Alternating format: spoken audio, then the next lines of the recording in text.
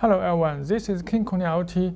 In this video, I will tell you how this AC contact works. Because this AC contact have many country, but so we have make many videos about the power distribution box.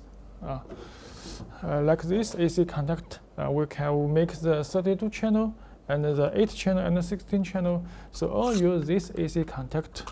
So we will look at uh, this contact, how it works, we will take apart uh, for this part. Uh, let you see the inside or details. Okay, let's look at it how it works.